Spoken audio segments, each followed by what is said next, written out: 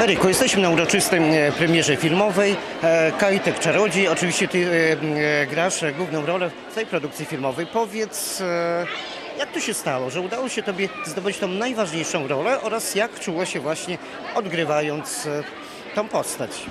to y, jak zdobyłem tą rolę, to mm, grałem wcześniej w serialu o II wojnie światowej i aktorka Zosia Wichłacz poleciła mnie pani reżyser i tak jakoś pojechałem na casting, zagrałem kilka scen i okazało się, że pasuje do tej roli. Y, i się bardzo zdziwiłem w momencie, kiedy dostałem tą rolę, bo nie spodziewałem się, że dostanę właśnie główną rolę w tym filmie, mm, ale byłem bardzo szczęśliwy i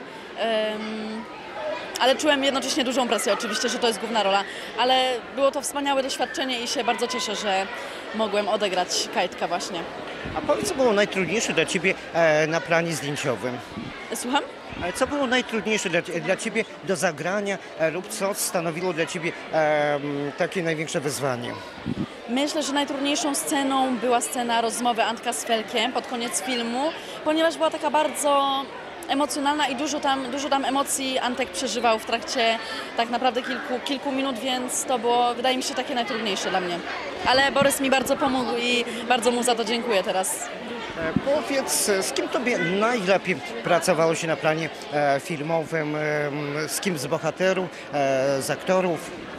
To najlepiej mi się pracowało na planie z dziećmi. y, było najwięcej zabawy i najwięcej śmiechu i radości, więc to wspominam bardzo dobrze. Ale tak aktorsko, partnersko, no super mi się naprawdę grało z Grzegorzem Damięckim i z Mają Komorowską, bo bardzo mi pomagali dużo się od nich nauczyłem i pomagali mi właśnie y, mm, tak wczuć się w rolę i wczuć się w scenę i to było bardzo pomocne. Bo Wracając do samego świata magii, e, powiedz e, na, e, na ile utożsamiasz się e, z tą rolą Kajtka i czy kiedykolwiek w dzieciństwie marzyłeś, aby jednak znaleźć w tym e, świecie magii, magię spełniania e, e, swoich marzeń, cudów?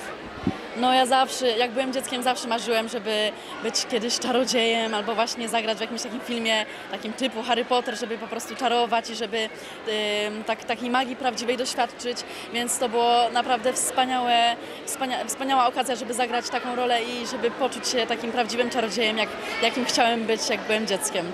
Ostatnie pytanie, gdzie my Ciebie ponownie zobaczymy, e, w jakiej produkcji filmowej, czy obecnie grasz jeszcze e, do jakiegoś inne, w jakimś innym filmie, czy na razie skupiasz się na promocji e, tego filmu, e, który w dniu dzisiejszym właśnie po raz pierwszy zobaczymy na ekranach. Tak, to na razie się skupiam na promocji, ale zagrałem w tym roku w filmie o powstaniu styczniowym, y, którego tytułu jeszcze nie, nie mogę chyba podawać, ale będzie prawdopodobnie w następnym roku, na początku jakoś, więc zapraszam do kin. A jeżeli chodzi e, o tą produkcję Kajtek Czarodzi, e, czy, e, czy są jakieś elementy wspólne na przykład z Harry Potterem?